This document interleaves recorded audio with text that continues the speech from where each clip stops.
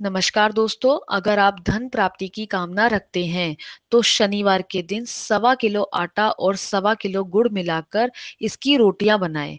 फिर सूर्यास्त के बाद दूध देने वाली गाय को ये रोटियाँ खिलाएँ। यह उपाय सात शनिवार तक करें। ऐसा करने से जीवन में आ रही धन संबंधित समस्याएँ दूर होने लगती हैं। धन्यवाद।